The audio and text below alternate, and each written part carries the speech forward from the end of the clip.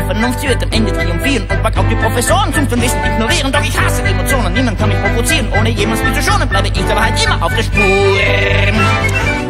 Wir sind zum ewigen Leben verflucht. Ich bin zum Leben erwacht. Die Ewigkeit beginnt heute Nacht.